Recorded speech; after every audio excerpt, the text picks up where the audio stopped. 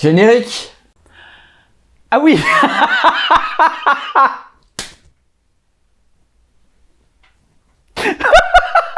J'ai plus d'idées il, écrit, il écrit grimace. C'était prévu. Non mais je vois, je vois, je vois, c'est vraiment... euh, Ouais, écoute.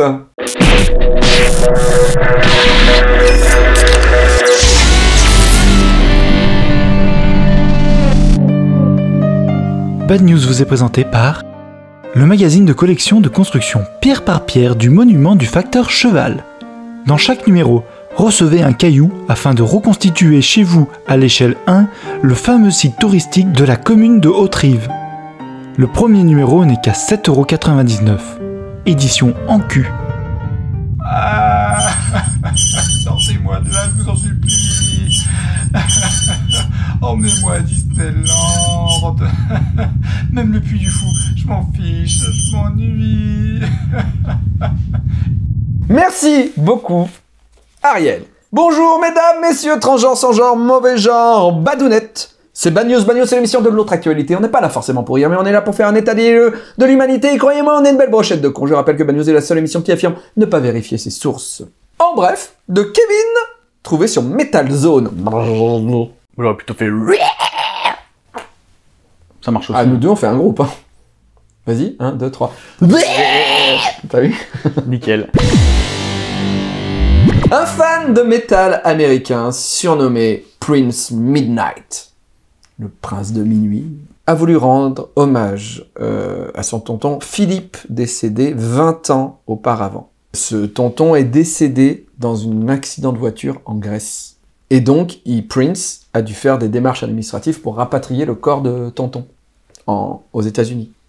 Quand le corps est arrivé en Floride, Prince ne voulait pas que le corps traîne chez lui. Et il s'est dit, et si euh, tonton avait une seconde vie? Et donc, il a récupéré la cage thoracique, la colonne vertébrale et le bassin de son tonton pour en faire une guitare. Il a créé la première Skullcaster au monde, trouvée sur metalzone.fr. Alors, est-ce que c'est vrai? Je sais pas, parce que je pense pas qu'on puisse dépecer un corps même aux États-Unis pour prendre des trucs pour fabriquer un truc. Mais là, euh, enfin, et puis surtout, hein, je, je me demande comment un squelette peut tenir comme ça, pour moi, sans... Ah bah, ça, à mon avis, il y a tout un travail, tu vois. Oui, de- ça, ils ont fixé, quoi. de, de fixation. Tu vois, tu vois, il y a du métal partout, partout, partout, partout. Je sais pas si c'est vrai. Vraiment, j'ai vraiment un, un doute. Prince Midnight a dit, au moins maintenant, mon oncle Philippe peut shredder pour l'éternité. C'est ce qu'il aurait voulu. Je suis super fier de ce projet, de la façon dont il sert à l'honorer, lui, sa vie et son influence sur moi. Mais tu sais, il suffit que dans le testament, il y a un truc... euh, qui- Donnez mon corps à, à la musique. non mais voilà, et qui puisse être interprété, et le mec il défend bien son projet, en vrai, euh, je sais pas, hein, mais tout est, moi je me dis tout est possible, hein. Aux États-Unis, peut-être. Et maintenant, en bref, de Aden. Oui, il y aura Fistouille.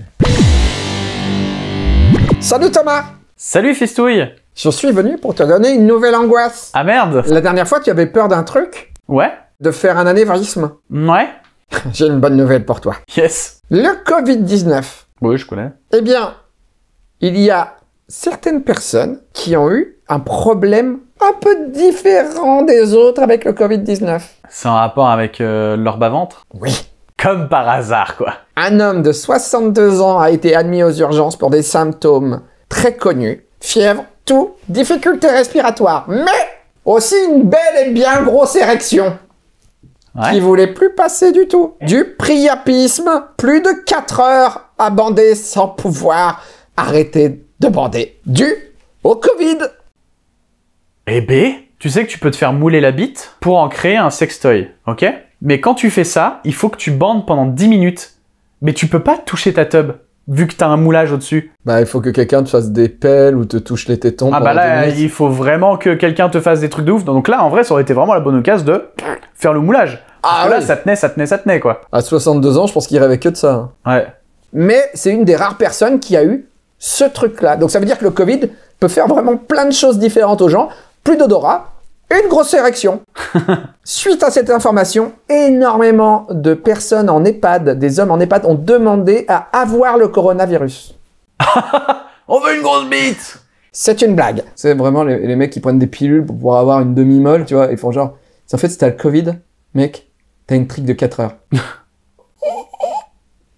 J'accepte de pas respirer Faites venir les petits enfants là En fait, bander quand c'est pas pour euh, un acte sexuel, généralement, c'est relou, quoi. Ouais. Et puis surtout, c'est ces, ces érections qui arrivent n'importe quand. Ouais. T'es au feu rouge en bagnole et d'un seul coup, tu bandes et tu dis, mais quoi? Non, mais bah, ça, ça va. T'es au collège et d'un coup, tu bandes. Et et t'es en, En jogging. hein. Et t'es en jogging. Bah, au collège, surtout, en fait, en plus, ton corps, vraiment, les érections, elles viennent un peu n'importe quand et tout ça. Ça, j'ai eu. Hein. On passe tout de suite à la pub de robe. Euh, Justement, qui est pas très loin du bas-ventre.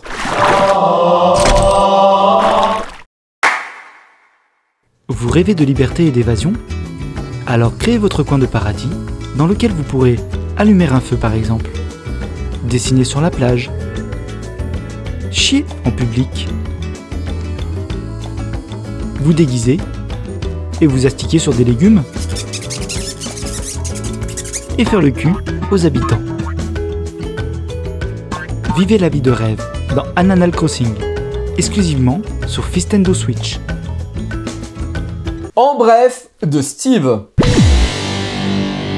Ça se passe à Limoges, et en fait, le seigneur a dit au monsieur Prends tout ce que t'as chez toi et jette-le par la fenêtre. Eh oui, Alors il l'a fait. un sacré bordel. À 2h du matin, il a complètement vidé son appartement. En jetant tout par la fenêtre, vêtements, chaussures, matelas, planches de lambris. Le seigneur lui a dit de le faire. Il habitait rue Maréchal Juin. Si vous êtes de Limoges, dites-le dans les coms. Si vous êtes d'ailleurs, dites-le dans les coms. Les gens de Marseille, on peut pas vous entendre. Ça s'est passé euh, le 7 février dernier. Hein. C'est pas... C'est récent, quoi. C'est pas vieux. Voilà. Tu vois, si on, si- genre, si on se moquait, on nous dirait, eh, machin, euh, tu respectes, blasphème pas, machin, nanana. Mais là, ça, va- ça va être horrible, hein, ce que je veux dire, c'est du blasphème de ouf. Mais, enfin, si Dieu, il demande de faire ça, il se fout de votre gueule. Non mais... Là, il se, il se moque de vous. Non mais c'est surtout, c'est pourquoi on remet autant en question que Dieu, pourquoi Dieu ne lui aurait pas dit. Pour... Prenons les choses à l'envers. Ouais. On le prend pour un débile en se disant ouais, Dieu il lui a dit de jeter toutes les affaires par la fenêtre. Mais peut-être que oui, peut-être que Dieu c'est un putain de rigolo. Ouais. Et que Dieu est arrivé et Il qu'il fait des barres. jette tes trucs par la fenêtre. Il le fait. Mais Dieu lui a vraiment dit. Ouais, ouais, Donc peut-être. euh, te moque pas. C'est un prank. C'est un, c'est un- un mini prank. C'est un petit prank. Euh, C'est un petit prank. On passe tout de suite à la bad news Percy de Clément. J'ai voulu écrire perso. J'ai écrit Percy hier et j'ai tellement ri. Au lieu de dire perso, Moi, je pensais une blague sur Percy Jackson, mais rien à voir. même pas le Percy qu'on mange et tout. La bad news Percy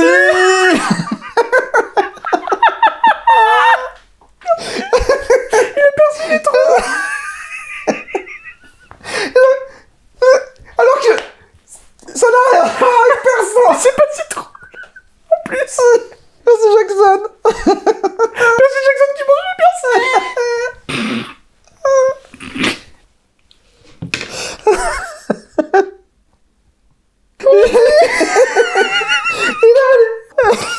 tu t'es trompé. Je suis une merde. Waouh. On est en janvier 2019 et Clément a depuis quelques mois une boule au niveau du sillon interfessier. Oh là là. Tu sais qui a eu un kyste euh, au cul? Non. Je lui demanderai avant pour valider, mais euh, bah, c'est Mr. Fox. Ah ouais? Et il m'a dit, t'es obligé de laisser le truc à vif pour, pour que ça se referme tout seul, parce que si jamais tu recoues, le kyste revient. Oui. Tu vas voir d'ailleurs. Ah, bah alors, ce soleil-là, je sens qu'il nous fait des variations sur le visage et que je vais regretter au montage d'avoir laissé le truc ouvert. Donc, il a un kyste. Et ça lui empêche de faire beaucoup de mouvements, dont le mouvement très simple de s'asseoir.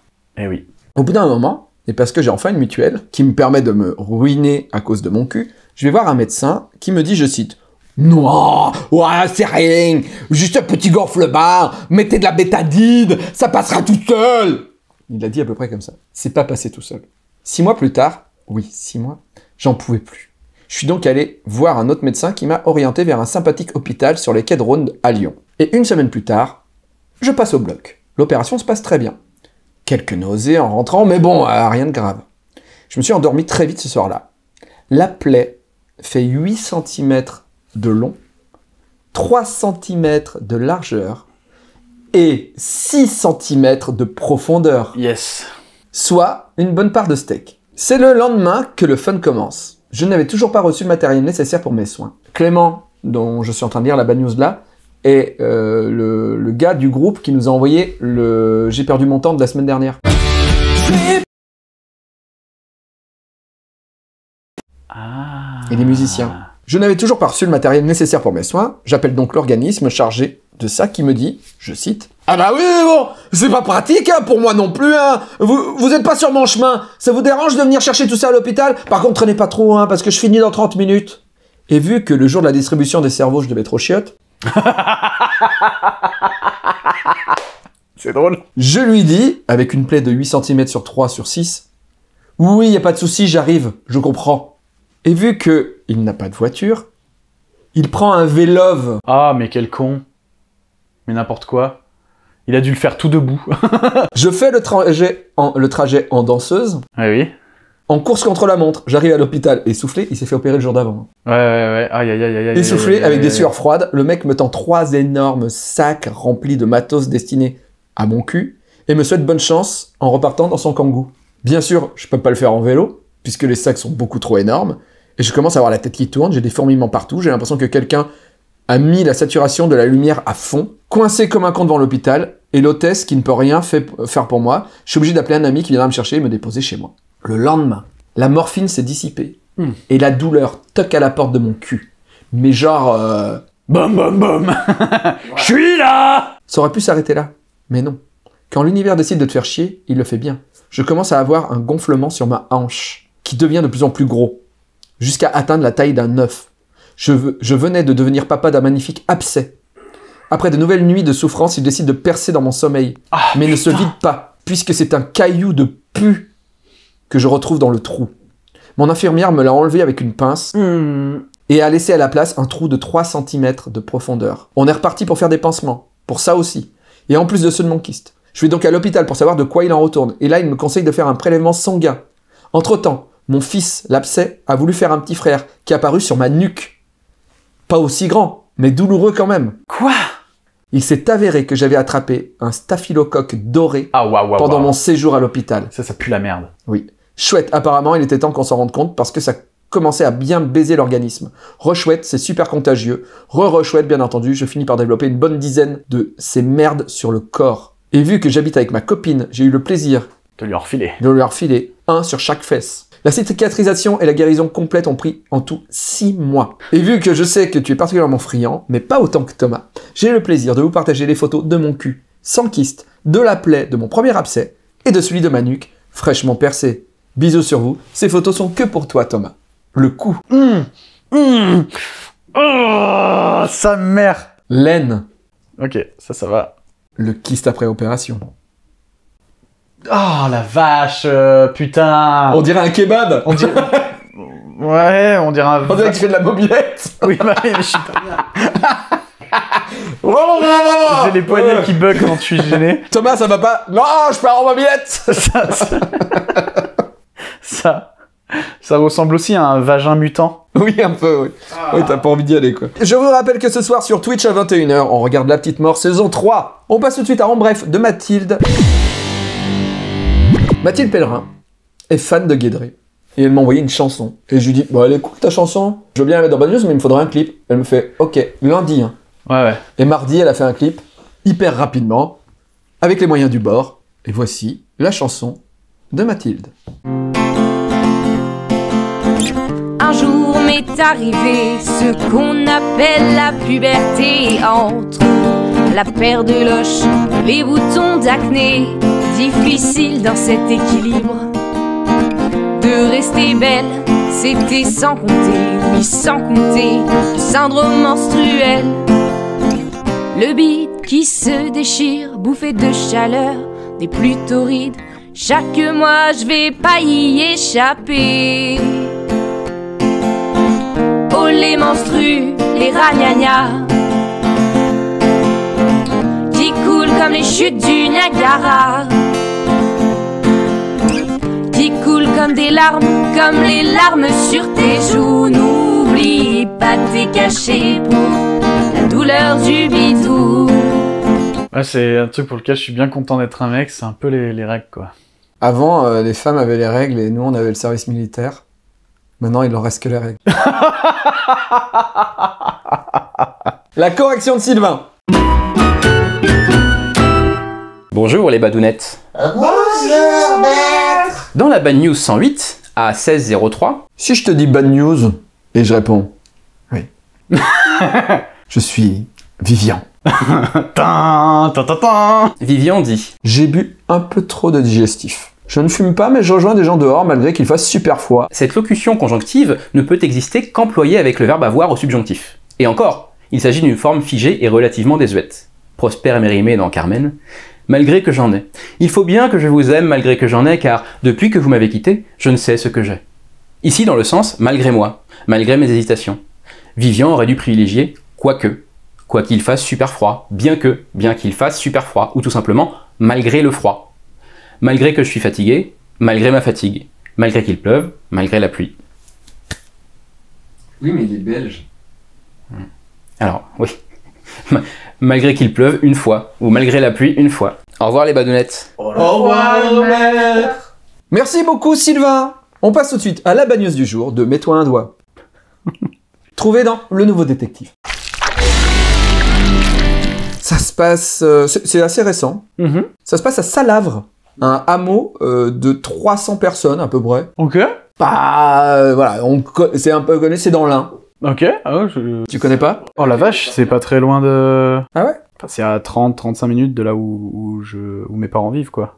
Alors Muriel, qui est passionnée de médecine douce, et ce jour-là, elle prend sa voiture, elle se dit, je vais aller cueillir des champignons. Et ben cette dame part dans les champs, peut-être vers chez toi, et elle commence à ramasser les champignons pour se fabriquer des, des trucs euh, pour euh, se guérir, des, des trucs euh, pour la mettre sur la peau, ou machin, tout ça. Lorsqu'elle ramasse ces champignons, elle disparaît. C'est-à-dire qu'on n'a plus de nouvelles de cette dame. D'accord. Quelques jours plus tard, la police retrouve son corps dans un champ. Elle n'a pas été violée. Elle n'a pas été volée. Son crâne a été fracassé. Le visage est tuméfié. Le cou entaillé de coups de lame type opinel. Un vrai massacre. Ok. Que s'est-il passé Bah, elle s'est fait assassiner, quoi. Elle a pris les champignons euh, d'un mec qui. et c'est c'est pas elle, enfin, dans une propriété privée, et le mec il a pété un boulard. C'est ça. Ouah, quoi? Mais ça vaut, ça vaut ça? Des champis? L'homme à qui appartenait le champ a été entendu par la police. La police ne comprenait pas pourquoi cette femme était décédée. Le grand barbu s'exprime en langage monosyllabique, frustre et évasif, dit l'article. Et après des heures où ils lui disent « C'est toi qui l'as tué, ce tué. Il dit « Arrêtez Arrêtez, je l'ai tué Je l'ai tué Elle était avec son panier et son couteau, elle voulait cueillir mes champignons dans mon bois Je lui ai dit de partir. Elle a fait semblant de pas m'entendre. Je l'ai rattrapée et je l'ai tapée pour une poignée de champignons. Il l'a tapé d'abord avec un gros morceau de bois. Et après, elle avait une opinelle pour couper les champignons. Il lui a pris son opinelle et s'est acharné sur elle avec son opinelle. Tué pour des champis, le monde va mal. Bad news, hein? Bad news, faisez gaffe quand vous ramassez des champignons. Merci à tous d'avoir suivi cette bad news. Rendez-vous mardi prochain à 17h45. Je vous rappelle que c'est tous les mardis à 17h45. Ma caméra vient de s'éteindre, donc tu peux parler. Je vous rappelle qu'on a un Tipeee, je vous rappelle qu'on a un YouTube, abonnez-vous, je vous rappelle qu'on a des t-shirts, je vous rappelle que je fais des dessins sur le dessinateur.com. Rendez-vous mardi prochain à 17h45. Thomas n'a plus de caméra, mais il participe. Je suis là